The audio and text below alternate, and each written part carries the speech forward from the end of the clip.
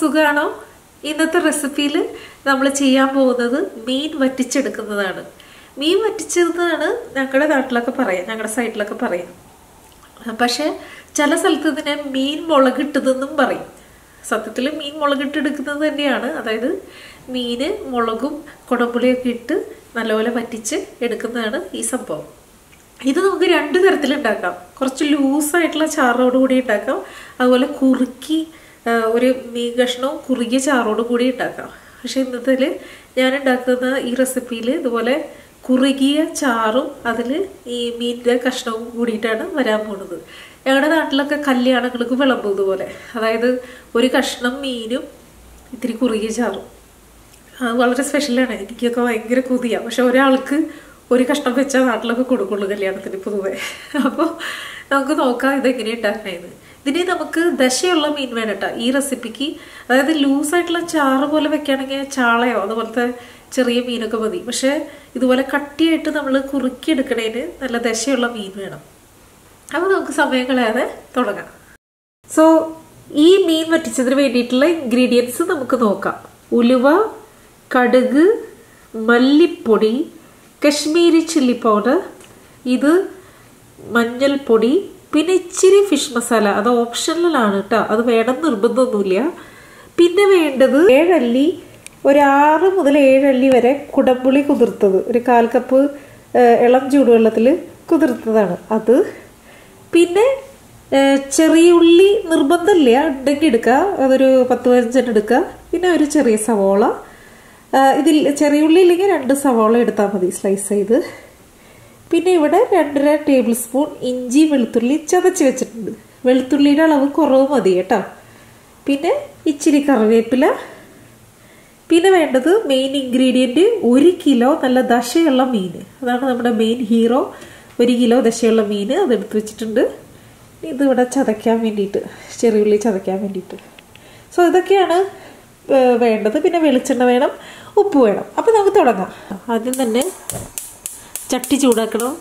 എന്നെ ജഡ്ജ് ചെയ്യില്ല. എനിക്ക് മൺചട്ടി ഇല്ല വീട്ടിൽ മൺചട്ടി വെക്കാനും സ്ഥലമില്ല. അതുപോലെ തന്നെ നമുക്ക് ഈസിലി അവൈലബിളും അല്ല. സോ ഏറ്റവും നല്ലത് മൺചട്ടി ഉപയോഗിക്കുകയാണ്.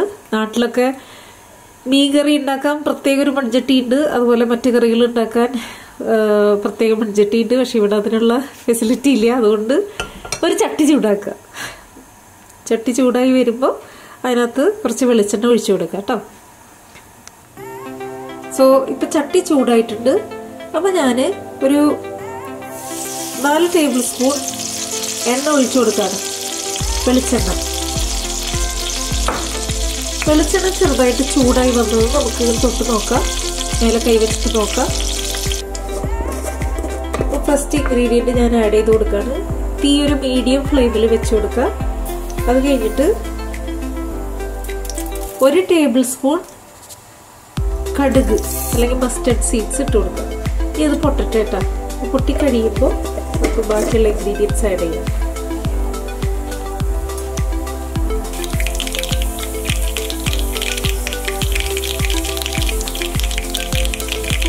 ആ ഇപ്പം നമ്മുടെ കടുക് പൊട്ടിക്കഴിഞ്ഞു ഇനി നമുക്ക് ആഡ് ചെയ്യേണ്ട ഇൻഗ്രീഡിയന്റ് ഉലുവയാണ് ഉലുവ. ഉലുവ ആഡ് ചെയ്ത് കൊടുക്കാം. ഉലുവ അധികം ആഡ് ചെയ്യരുത് കേട്ടോ. ഞാൻ ഓരോ നുള്ളായിട്ട് ആഡ് ചെയ്യണം കാരണം ഒരുപാട് ഉലുവ ആയി കഴിഞ്ഞാൽ കറി അങ്ങ് കഴിച്ചു പോകും. അപ്പോൾ ഒന്ന് രണ്ട് മൂന്ന് നാല്. നാല് പിഞ്ച് അല്ലെങ്കിൽ ഒരു കാൽ സ്പൂണ് നമ്മൾ ഉലുവ നമ്മൾ ചേർത്ത് കൊടുത്തു. അടുത്ത ഇൻഗ്രീഡിയന്റ് നമ്മൾ ചേർക്കാൻ പോവാണ്. ഈ സവാള അരിഞ്ഞു വെച്ചേക്കുന്നത്. ഒരു സവാള സ്ലൈസ് ചെയ്തത് ചേർത്ത് കൊടുക്കുക. പിന്നെ നമ്മൾ എടുത്ത് വെച്ചിരിക്കുന്ന ആ ചെറിയുള്ളിയില്ലേ അതൊരു പത്ത് പതിനഞ്ചെണ്ണം ഉണ്ടെങ്കിൽ ചതച്ചിട്ട് ചേർത്ത് കൊടുക്കുക.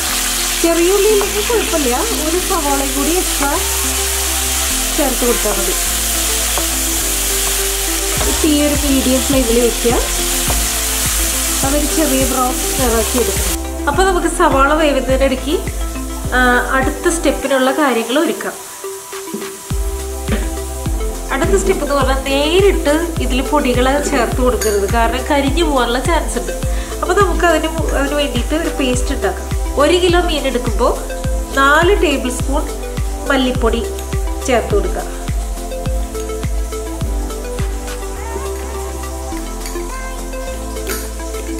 നമ്മൾ ഈ പൊടികളൊക്കെ ചേർത്ത് ഒരു പേസ്റ്റ് ഉണ്ടാക്കാൻ പോവാണ്.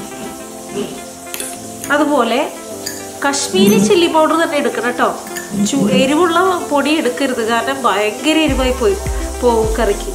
അപ്പോൾ കശ്മീരി ചില്ലി പൗഡർ ഒരു മൂന്നര മുതൽ നാല് ടേബിൾ സ്പൂൺ വരെ. ഞാനിവിടെ മൂന്നര ടേബിൾ സ്പൂൺ എടുത്തിട്ടുണ്ട്. ഒരു കിലോ മീനിന് ഇപ്പോൾ ഒരു കിലോ മീനിന് നാല് ടേബിൾ സ്പൂൺ മല്ലിപ്പൊടി നാല് ടേബിൾ സ്പൂൺ കശ്മീരി ചില്ലി പിന്നെ അതുപോലെ തന്നെ മഞ്ഞൾപ്പൊടി അധികം വേണ്ട. ഒരു അര ടീസ്പൂൺ മഞ്ഞൾപ്പൊടി ഇട്ട് കൊടുക്കുക. പിന്നെ നമ്മുടെ ഫിഷ് മസാല ഫിഷ് മസാല ഓപ്ഷണലാണ് ഉണ്ടെങ്കിൽ ഇട്ട് കൊടുത്താൽ മതി. ഇപ്പം എന്റെ വീട്ടിലുണ്ടായിരുന്നു അതുകൊണ്ട് ഒരു ടീസ്പൂൺ ഫിഷ് മസാല ചേർത്ത് കൊടുത്തു. ഇതെല്ലാം കൂടിയിട്ട് മിക്സ് ചെയ്യാണ് കേട്ടോ. ഇനിയിപ്പോൾ നമ്മൾ ഈ എല്ലാ പൊടികളും കൂടി ചേർത്ത് കൊടുത്തില്ലേ? അതിലേക്ക് ഒരു കാൽ കപ്പ് വെള്ളം. കാൽ കപ്പ് എന്ന് ഞാൻ പറയുന്നില്ല. പേസ്റ്റ് പോലെ കൺസിസ്റ്റൻസി വേണം. അപ്പം അതിനൊത്ത വെള്ളം ഒഴിച്ചു കൊടുക്കുക. ഒരുപാട് വെള്ളം ഒഴിച്ച് ചാറ് പോലെ ആക്കരുത്.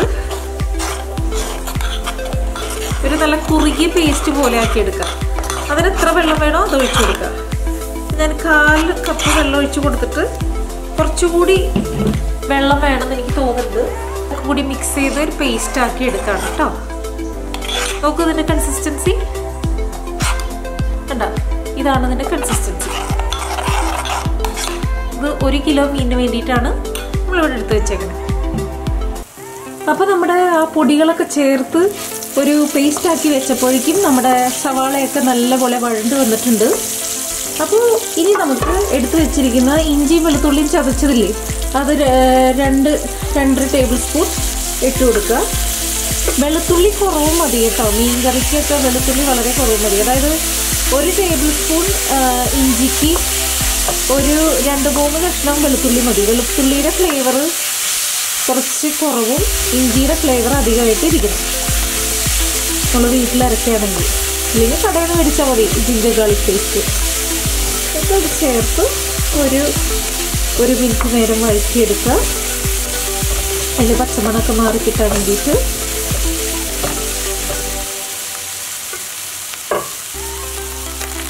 അപ്പോൾ നോക്കൂ നമ്മുടെ സവാള ചെറിയുള്ളി അതുപോലെ തന്നെ ഇഞ്ചി വെളുത്തുള്ളി പേസ്റ്റൊക്കെ നല്ലപോലെ വഴണ്ട് വന്നിട്ടുണ്ട്. അപ്പോൾ നമ്മൾ നേരത്തെ ഉണ്ടാക്കി വെച്ചേക്കണ ആ പൊടികളുടെ ആ പേസ്റ്റ് ഏ ആ മല്ലിപ്പൊടിയും മുളക് പൊടിയും ഒക്കെ കൂടി ചേർത്തിട്ടുള്ള പേസ്റ്റ് അത് പതുക്കെ ആഡ് ചെയ്ത് കൊടുക്കുക കേട്ടോ.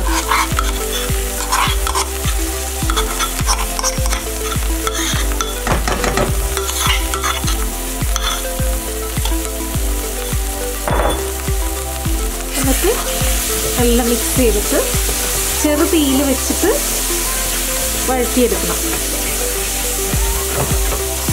നമ്മളെന്തിനാ വെള്ളം ചേർത്തേന്ന് അറിയൂ? അല്ലെങ്കിൽ ഈ പൊടികളൊക്കെ നേരിട്ട് ചേർത്ത് കഴിഞ്ഞാൽ അതിന്റെ പെട്ടെന്ന് കരിഞ്ഞു പോകും അതിൽ ശരിക്കും റോസ്റ്റ് ആവാണ്ട്. ഈ ഈ ഒരു കറി ഇങ്ങനെ വെച്ച് കഴിയുമ്പോൾ നല്ല തിക്നെസ്സും ഉണ്ടാവും നല്ല ടേസ്റ്റും ഉണ്ടാവും. അപ്പോൾ അതവിടെ കിടന്ന് വേവട്ടെ. ഈ പേസ്റ്റ് നമ്മൾ ചട്ടിയിലിട്ട് കൊടുത്ത് വല്ലയിടത്തും സംസാരിക്കാൻ പോകരുത് അല്ലെങ്കിൽ വല്ല കാര്യം ചെയ്യാൻ പോകരുത്. സാധനം കരിഞ്ഞു പോകും അതുകൊണ്ട് ലോ ഫ്ലെയിമിൽ ഇട്ട് വെച്ചിട്ട് നല്ലപോലെ അത് കുക്ക് ചെയ്ത് ഇപ്പോൾ ഇതിന്റെ ഡാർക്ക് കളറായി കണ്ട പിന്നെ ഈ സൈഡിൽ നോക്കിയാൽ കാണാൻ പറ്റും. ചെറുതായിട്ട് എണ്ണ ഇങ്ങനെ തെളിഞ്ഞു വരാൻ തുടങ്ങും. അപ്പോൾ അതിനർത്ഥം ഈ സംഭവം ശരിയായിട്ടുണ്ട്. ഇതിന്റെ കൺസിസ്റ്റൻസി പരിവായിട്ടുണ്ട്. നമുക്ക് അടുത്ത ഇൻഗ്രീഡിയന്റ് ആഡ് ചെയ്യാറായി എന്നാണ് അതിന്റെ അർത്ഥം. ഒരുപാട് എണ്ണ തെളിയില്ല കേട്ടോ. സൈഡിൽ നമ്മൾ ശ്രദ്ധിച്ച് നോക്കുകയാണെങ്കിൽ ചെറുതായിട്ട് ഇങ്ങനെ ബബിൾ ബബിൾ പോലെ വരുന്ന കാണാം. അതിന്റെ അർത്ഥം നമുക്ക് അടുത്ത ഇൻഗ്രീഡിയന്റ് ആഡ് ചെയ്യാനാണ് അതിനോടൊപ്പം തന്നെ അതേസമയം ഞാൻ ഞാൻ കുറച്ച് വെള്ളം ചൂടാക്കുന്നുണ്ട്. കാരണം വെള്ളം ഇതിപ്പോൾ ഈ ചൂടാക്കിയിരിക്കുന്ന സാധനമല്ല. അതിന്റെ കൂടെ തണുത്ത വെള്ളം ഒഴിച്ചാൽ അതിന്റെ ശരിയായ രുചി നഷ്ടപ്പെടും എന്നാണ് പറയുന്നത്. അതുകൊണ്ട് ഞാൻ വെള്ളം ചൂടാക്കി വെക്കുന്നുണ്ട്. ഇനി അടുത്ത ഇൻഗ്രീഡിയന്റ് നമുക്ക് ആഡ് ചെയ്യാം. ഇനി അടുത്ത ഇൻഗ്രീഡിയന്റ് എടുത്തു വെച്ചേക്കുന്നത് നമ്മുടെ മെയിൻ ആളാണ്. ഇതിന് ഫ്ലേവർ കൊടുക്കുന്ന സാധനം. കുടംപുളി.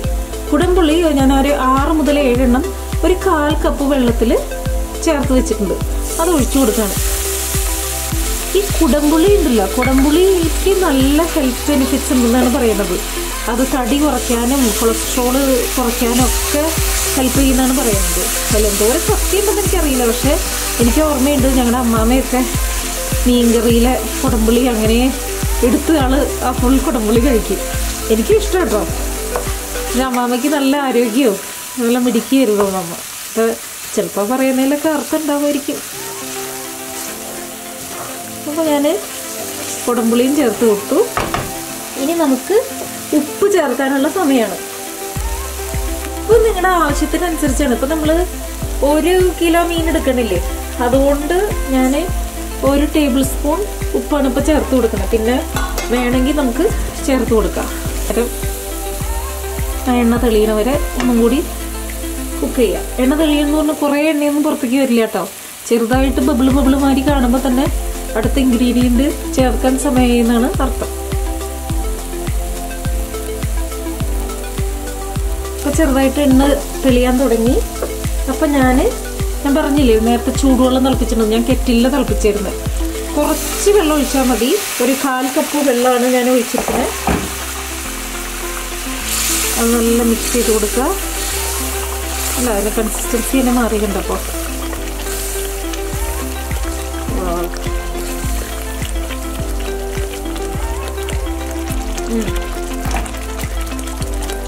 ഒരു കാൽ കപ്പ് വെള്ളം കൂടി ഒഴിച്ചു കൊടുക്കാണ്. അപ്പോൾ അരക്കപ്പാണ് മുതു മുഴുവനായിട്ട് ഞാൻ ഒഴിച്ചു കൊടുത്തേക്കുന്നത് അരക്കപ്പ് ചൂടുവെള്ളം. നല്ല മിക്സ് ചെയ്തെടുക്കുക.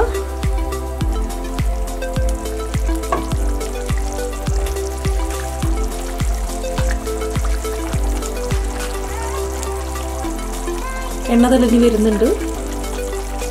ഇനി നമ്മുടെ മെയിൻ ഹീറോ നമ്മുടെ ഒരു കിലോ നല്ല ദശയുള്ള മീൻ അത് ഇട്ട് കൊടുക്കുക കേട്ടോ. മൺചട്ടിയിലൊക്കെ വെക്കണം എന്ന് ആഗ്രഹമുണ്ട് പക്ഷേ ഇപ്പോൾ ഒരു അപ്പാർട്ട്മെന്റിൽ താമസിക്കുന്ന കാരണം മൺചട്ടി ഒന്നും വെക്കാൻ സ്ഥലമല്ലേ ഇവിടെ.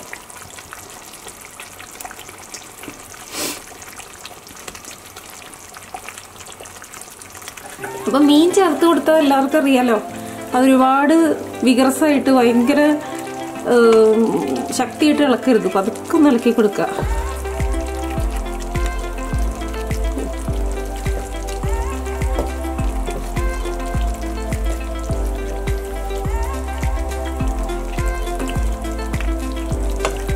ഓ എന്നെ നിറങ്ങണ്ട.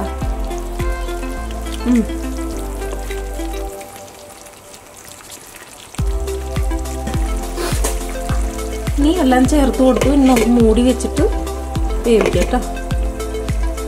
ഞാൻ മീൻ പ്രത്യേകം ശ്രദ്ധിക്കാം മീൻ ഏറ്റവും ലോവസ്റ്റ് ഫ്ലെയിമിൽ അല്ലെങ്കിൽ ഏറ്റവും ഇളം തീയിൽ വെച്ചിട്ട് വേണം നമ്മൾ കുക്ക് ചെയ്യാനായിട്ട്. ഇത് പതിനഞ്ച് മിനിറ്റ് കഴി കഴിഞ്ഞിട്ട് തുറന്ന് നോക്കിയപ്പോൾ ഇതുപോലെയാണ് ഇരിക്കുന്നത്. ഉലുവ ഒരുപാട് ഇടാൻ പാടില്ല. ഉലുവ ഞാൻ ഉപയോഗിച്ചത് കണ്ടില്ലേ? മൂന്ന് നുള്ള ഇട്ടിട്ടുള്ളൂ. മൂന്ന് മുതൽ നാല് വരെ ഞാൻ നാല് നുള്ള് ഉലുവ ഇട്ടിട്ടുള്ളൂ. അതുപോലെ കുടംപുളി നല്ലപോലെ കഴുകിയിട്ട് വേണം എടുക്കാൻ വേണ്ടിയിട്ട്. അല്ലെങ്കിൽ അതിന്റേതായിട്ടുള്ള ഒരു ചുക വരും. അതുകൊണ്ട് നല്ലപോലെ കുടംപുളി കഴുകിയെടുക്കുക. ഉലുവ ഒരുപാട് ആഡ് ചെയ്യാണ്ടിരിക്കുക. അപ്പോൾ പതിനഞ്ച് മിനിറ്റ് ആയിട്ടുണ്ട് ഏറ്റവും ലോവസ്റ്റ് ഫ്ലെയിമിൽ ഞാൻ കുക്ക് ചെയ്തത്. കണ്ട അതിന്റെ ഭംഗി കണ്ടോ? എന്ത് ഭംഗി നോക്കിയേ? പതിനഞ്ച് ഇരുപത് മിനിറ്റ് മതി. അത് അതിനുള്ളിൽ മീൻ വേവും. അപ്പോൾ പിന്നെ എല്ലാവർക്കും അറിയാവുന്ന കാര്യമാണ്. മീൻ കറി ഉണ്ടാക്കിയ ശേഷം സ്പൂൺ വെച്ച് കുത്തി ഇളക്കരുത് മീൻ പൊട്ടിപ്പോകും എന്നുള്ളത് അതുകൊണ്ട് ചട്ടി എടുക്കുക ഒന്ന് ചിറ്റിച്ചെടുക്കുക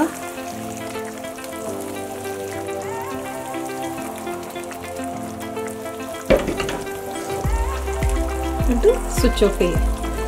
ഇപ്പം നമുക്ക് ടേസ്റ്റ് ചെയ്ത് നോക്കാം. എങ്ങനെയുണ്ട്? ഉപ്പ് കുറവുണ്ടോ നോക്കാം കേട്ടോ. ഉപ്പൊക്കെ കറക്റ്റായിട്ടുണ്ട് ഒരുപാട് ഉപ്പ് വേണ്ട. എനിക്ക് ഇത്തിരി പുളി കൂടുതലാന്ന് തോന്നുന്നുണ്ട്. അപ്പോൾ ഞാനൊരു രണ്ട് കുടംപുളി എടുത്ത് മാറ്റുന്നുണ്ട്. കാരണം എന്താണെന്നറിയോ? നമ്മൾ ഇരുന്ന് കഴിയുമ്പോൾ ഈ കറി കുറുകും ചെയ്യും. അതിന്റെ ഉപ്പും പുളിയെല്ലാം നല്ലോണം പിടിക്കും. അപ്പോൾ ഈ സ്റ്റേജിൽ നിങ്ങൾക്ക് തോന്നുകയാണ് കുടംപുളി പുളി കൂടുതലാണെന്ന് തോന്നുകയാണെങ്കിൽ ഞാൻ മൂന്നെണ്ണം എടുത്ത് മാറ്റാം. കാരണം നല്ല പുളിയുണ്ട്. നല്ല ക്വാളിറ്റി കുടംപുളിയാന്ന് തോന്നുന്നു. അപ്പോൾ നല്ല രുചിയായിട്ടുണ്ട്. ഇല്ല ഞാൻ ഫ്ലെയിം ഓഫ് ചെയ്തു. അത് കഴിഞ്ഞ് ഞാനൊരു രണ്ട് ടേബിൾ സ്പൂൺ വെളിച്ചെണ്ണ വെറുതെ മേലെ ഒഴിച്ചു കൊടുക്കണം. അത് നല്ല ഫ്ലേവർ നല്ലോണം കൂട്ടും അത് ഓപ്ഷനിലാണ് നിങ്ങൾക്ക് ഇഷ്ടമുണ്ടെങ്കിൽ ചേർത്താൽ കേട്ടോ. അതേപോലെ വേപ്പില ഒന്ന് നല്ല പോലെ ഒന്ന് കൈകൊണ്ട് ഞെരടിയിട്ട് ഇട്ട് കൊടുക്കാം അപ്പം അതിന്റെ ഫ്ലേവറൊക്കെ നല്ലപോലെ ഇറങ്ങിയെടുക്കും. ഇറങ്ങിയിരിക്കും. ഈ വറ്റിച്ചത് നല്ല കുറുക്കിയ ചാറോട് കൂടിയിട്ട് ഇത് കല്യാണ വീട് പോലെയല്ല നമുക്ക് ഒന്നിലധികം കഷ്ണം എടുക്കാം. ഇഷ്ടംപോലെ കഴിക്കുക. പിന്നെ ഇത് വളരെ ഹെൽത്തിയുമാണ് വറുക്കലോ അങ്ങനത്തെ സംഭവങ്ങളൊന്നുമില്ല പിന്നെ നമ്മൾ അറിയാലോ മീൻ വറ്റിച്ചതും മീൻ കറികളൊക്കെ ഉണ്ടാക്കി കഴിഞ്ഞാൽ ഉടനെ അത് കഴിക്കുന്നത് നല്ലതല്ല. ഒരു മൂന്നാൽ മണിക്കൂറെങ്കിലും കഴിഞ്ഞ് കഴിച്ച് കഴിഞ്ഞാൽ അതിന്റെ കറക്റ്റ് ടേസ്റ്റ് കിട്ടും. അപ്പോൾ ഇത് എത്ര എളുപ്പമാണ് ഇത് ഉണ്ടാക്കാൻ വേണ്ടിയിട്ട്? അപ്പോൾ എല്ലാവരും ട്രൈ ചെയ്ത് നോക്കുക കണ്ട? അതിന്റെ ഭംഗിയുണ്ട? നമുക്ക് ചോറിന്റെ കൂടെ കഴിക്കുക അതുപോലെ കപ്പയുടെ കൂടെ കഴിക്കുക ഒക്കെ നന്നായിട്ടുണ്ടാവും. അപ്പോൾ എല്ലാവരും ഇതുപോലെ മീൻ വറ്റിച്ചത് ഇഷ്ടമുള്ള ആൾക്കാരാണെങ്കിൽ ഇത് ട്രൈ ചെയ്ത് നോക്കുക എന്നിട്ട് ഇഷ്ടമായിട്ടുണ്ടെങ്കിൽ താഴെ കമന്റ് ചെയ്യുക. അതുപോലെ തന്നെ അടുത്ത വീഡിയോയിൽ വീണ്ടും കാണാം. അതുവരേക്കും ബൈ